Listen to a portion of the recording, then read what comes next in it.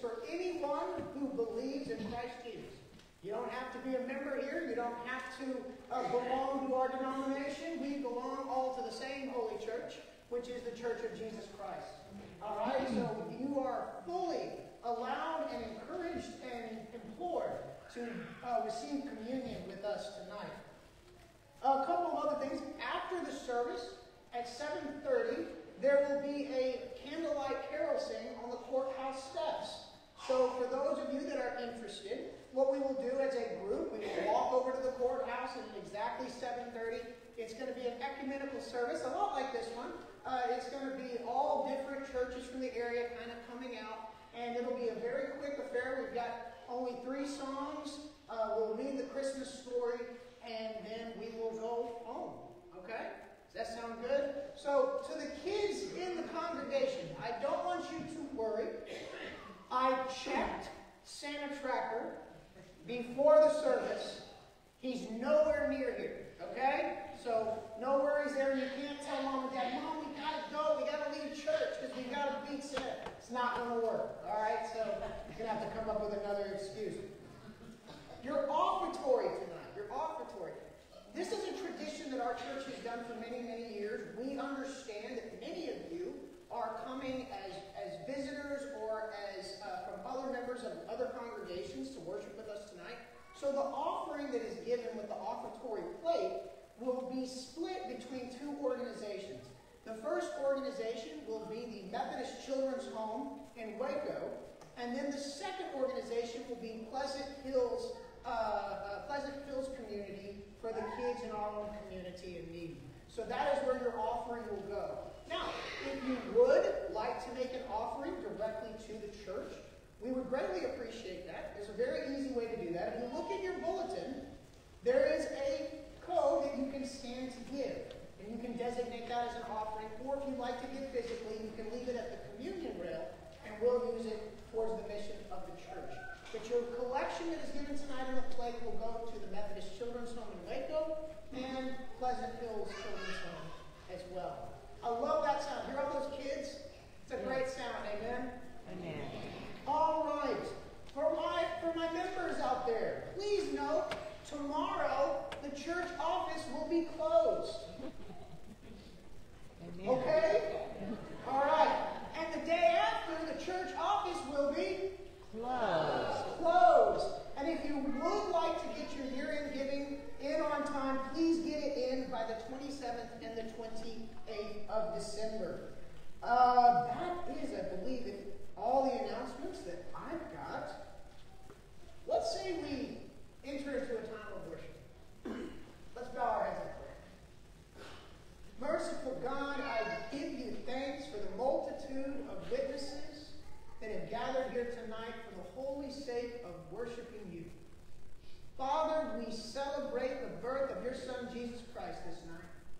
And may we center our hearts and minds on the true purpose of this season. May we leave here this place fulfilled and restored. In the holy name of Jesus. Amen. Our first song that we should stand and sing with all gusto is hymn number 240, Hark the Herald Angels Sing. Let's stand and sing.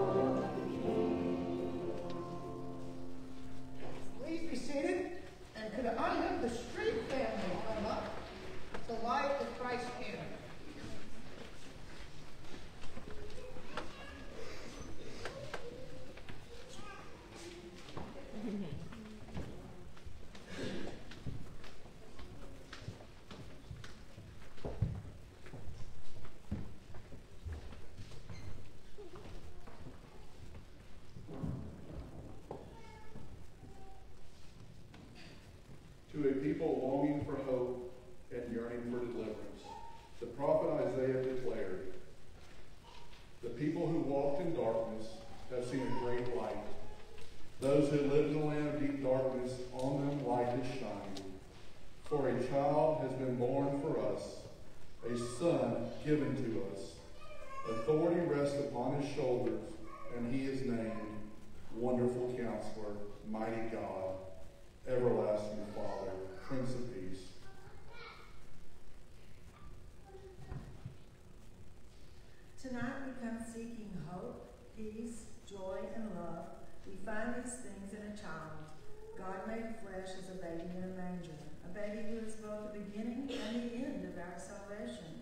dwells with us even now, our Emmanuel, God with us.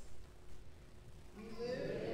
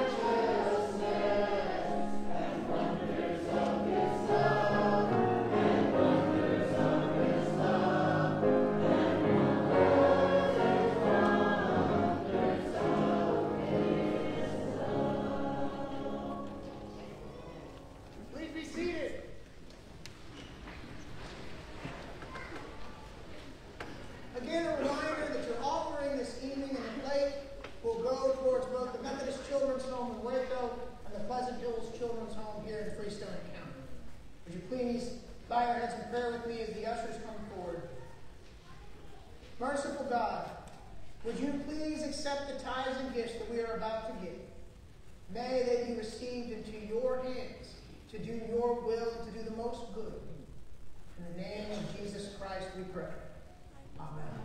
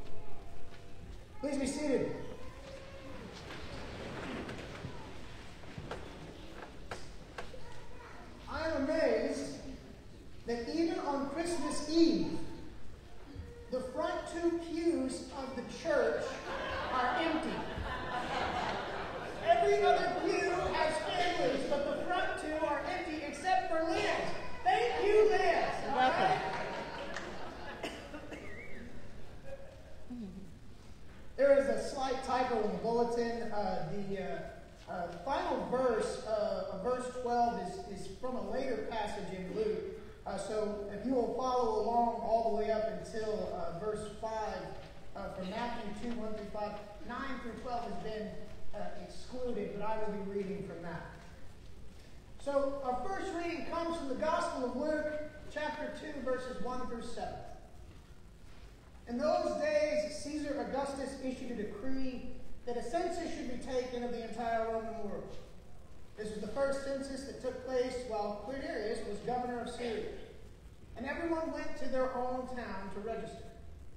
So Joseph went up from the town of Nazareth to Galilee to Judea, to Bethlehem, the town of David, because he belonged to the house and line of David. He went there to register with Mary, who was pledged to be married to him and was expecting a child. Well, there were there, the time came for the baby to be born. And she gave birth to her firstborn, a son. She wrapped him in clothes and placed him in a manger because there was no guest room available for them.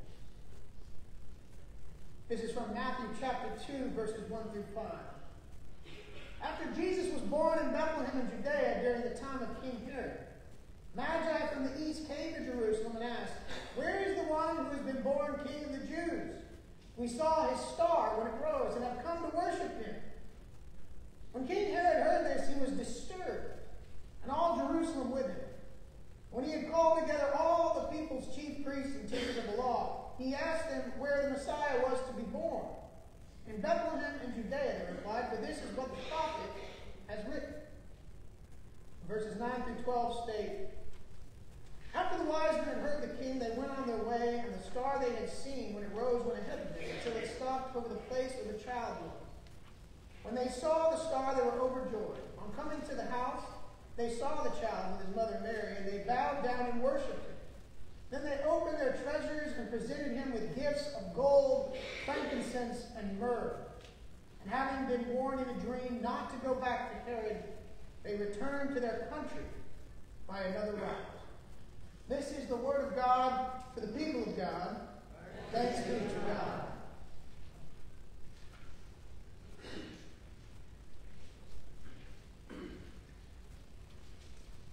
A letter from Oswald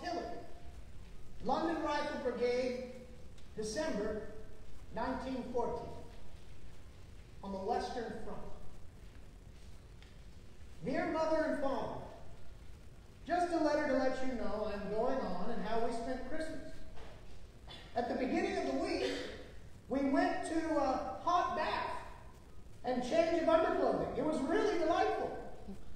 It was a sensation of getting into a huge bath of hot water and having a real good wash. We had very good clothing served out, amongst which was really fine woolen vests. Now I have got clothes to face all weathers. On the 23rd, we got orders that we were to join the regiment for 16 days. We turned out. And I have to say that it was one of the most extraordinary days we have ever spent out here, if not in my entire life. The first day passed off in the usual manner, but during Christmas Eve night, the Germans started singing and showing lights and illuminated crosses in connection with their religious observances. Their singing was really very good, but sounded very weird. On Christmas morning, as we had practically ceased firing at them, one of them started beckoning to us. So one of our lads went out in front of our trenches and led him halfway amidst cheering on both sides. They arranged for one of our officers to meet one of theirs, and they arranged an unofficial ceasefire, an armistice, so that each side could bury the dead, which lay between the trenches.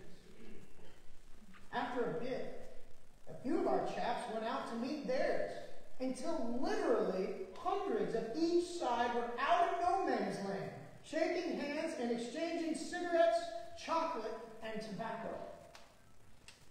Just you think that while you were eating your turkey at home, mm-hmm. I was out talking and shaking hands with the very man I had been trying to kill a few hours before. It was astounding. Our fellows brought five of the Germans' dead comrades to them, and we had a joint burial and religious service between the trenches. The German officer thanked you English friends for bringing them across. Yesterday, when we were in the fire trenches, we still had an unofficial armistice and were able to walk about it safely. We are all feeling rather tired now, as we have been doing a lot of heavy fatigue work during the past few days and are leaving again for the reserve tomorrow morning. I had another chat with a German fellow who used to work just a street away from us. Naturally, he spoke English very well and said he was tired of this war and said he did not think it would last very much longer. This experience has been the most practical demonstration I have ever seen of peace on earth and goodwill towards men. We have even decided to observe a truce for New Year's. and I understand that all along the line that the infantry have not even fired a shot. Your loving son,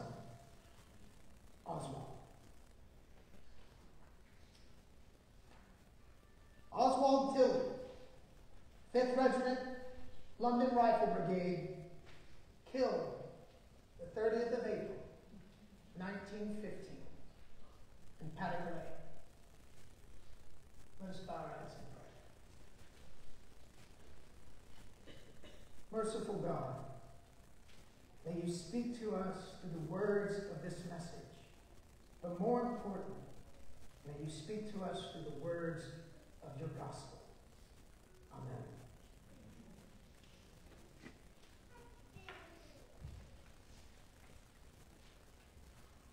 My purpose in reading that letter was by no means to dampen your Christmas spirit. But I want to ask you this question What would have happened on 1914 in December if the Psides who laid down their weapons decided to never pick them up again? One of the most chilling lines in that letter was when Oswald writes to his mother about the German who used to work just a few streets down from him, saying, I don't think this war is going to last much longer. World War I would last until November 11, 1918, and would be one of the costliest wars in human history. The Christmas truce of 1914 was a one and only event in world history.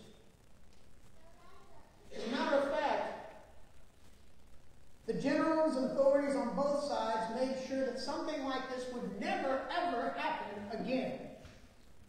They began to notice something very strange that casualty reports were less in certain sectors.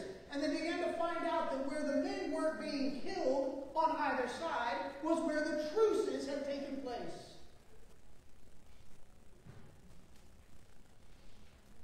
And they realized that in order to get the killing to start back up again, they had to move the men to different parts of the line. And in 1915, it was made an order that any man caught fraternizing with the enemy would be summarily put to death without trial. Now, I'm not here to debate the rightness and wrongness of the First World War. There are large books that I read and my wife thinks are incredibly boring that can explain that to us. But my question is this Where do we think Christ was more present during that time? Was it in the trenches of either side? Or was it in the no man's land of bringing two sides together? As our brother Oswald said, I have never seen such a demonstration of peace on earth, goodwill towards men. What is it about Christmas that allows us as Christians, in arguably some of the most adverse times in our history, to shed ourselves and be able to come in unified joy to worship and seek the one thing we're still seeking? What is it that brings us on this night to this service?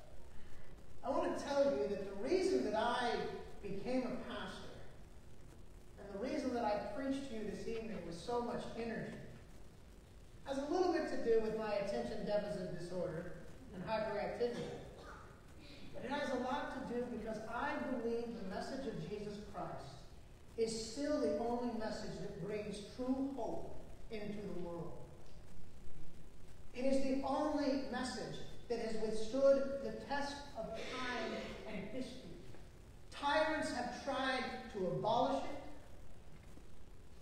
Leaders and politicians have tried to, to market it. Great evangelists have oftentimes tried to profit from it. But at its core, the message of the manger, the message of the cross, and the message of the empty tomb is the same as it was 2,000 years ago. Its ability to impact and change the lives of individuals across cultures and across history still is as powerful as it was that the day and the evening that the angels appeared to the shepherds. And then the shepherds said, Let us go and see this sight, and then tell others what we have seen.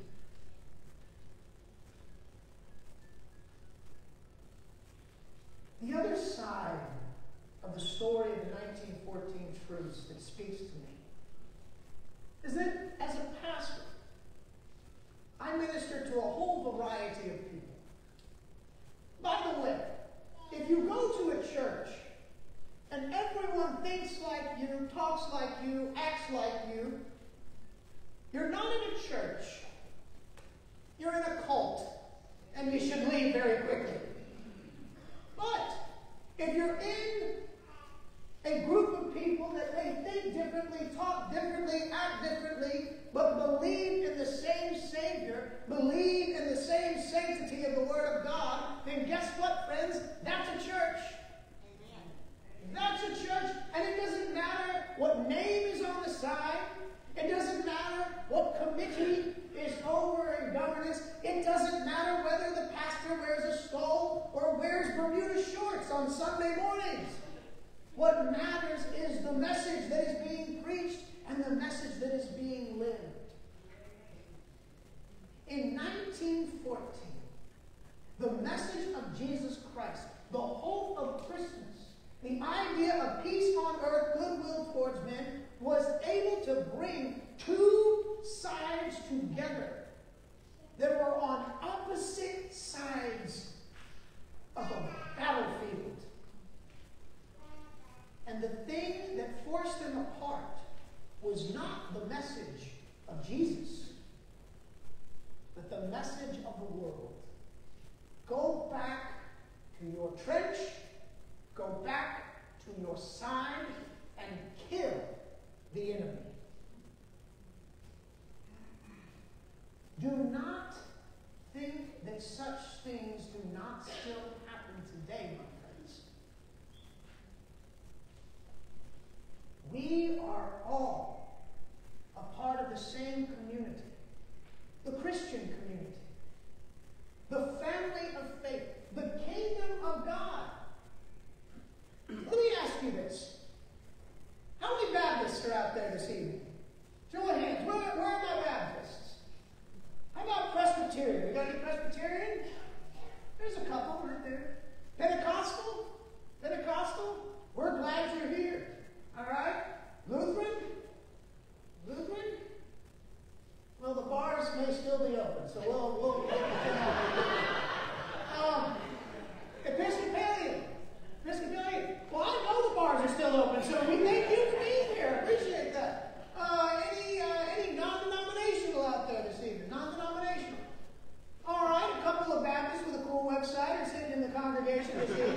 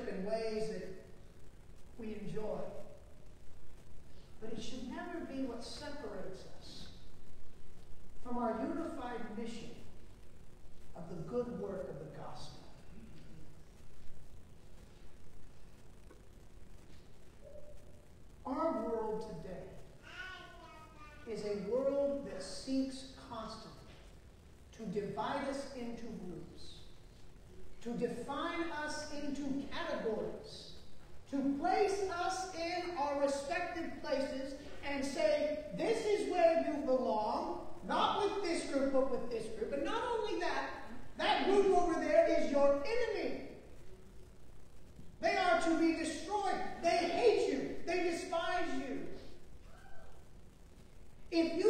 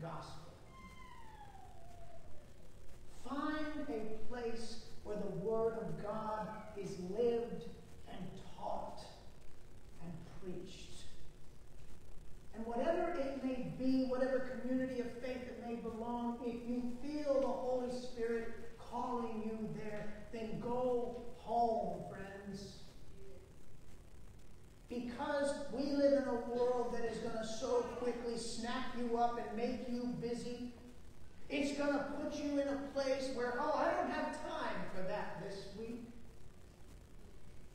I hate to break it to you. But if Jesus had time to take up a cross and carry it up a hill, we should be able to make time for him. Amen.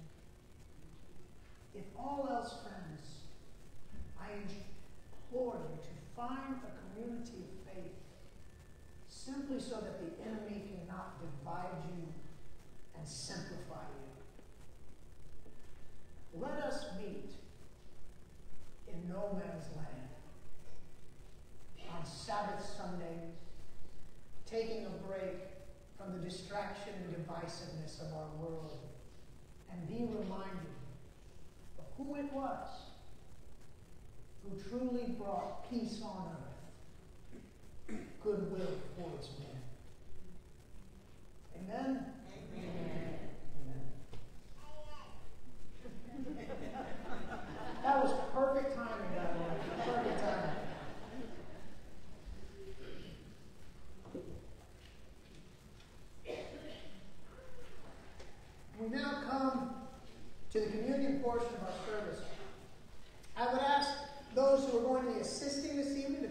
at this time, as well as our, our bell choir from board at this time. How it works is simple. You will come up, we will give you a piece of bread, and uh, it, we will say this is the body of Christ broken for you. And then you will go to the altar, and there will be uh, uh, cups given to you uh, to take. You may pray at the altar, and you may return to your seat, depending on how you, you feel. Take as much time to pray as you want. Uh, the ushers will dismiss you. We will start from the back and, and move our uh, moving the way forward. Um, and like I said in the beginning, this is very important. Friends, this is the Lord's table. All who wish to partake in its bountiful harvest may do so. We also want to remind you that we have a gluten-free option. So if you would like, just please inform me that you wish to have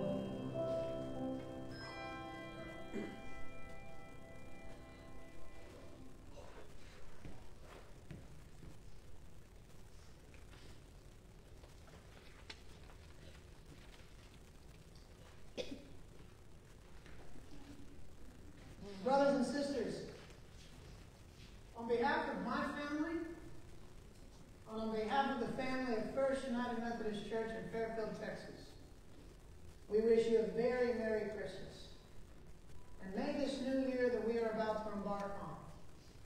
Be one in which Christ our Lord and his gospel guides all of us. Merry Christmas. Merry Christmas. Go in peace and remember at 7.30, we'll see you on the courthouse steps. God bless you.